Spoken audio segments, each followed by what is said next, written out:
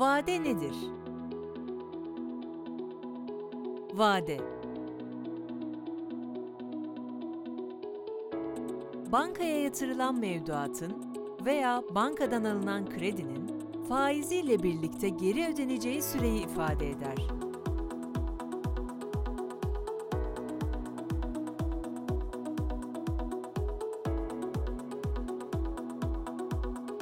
Tanımlar bankacılık terimlerini daha sade ve anlaşılır şekilde ifade etmek için hazırlanmıştır.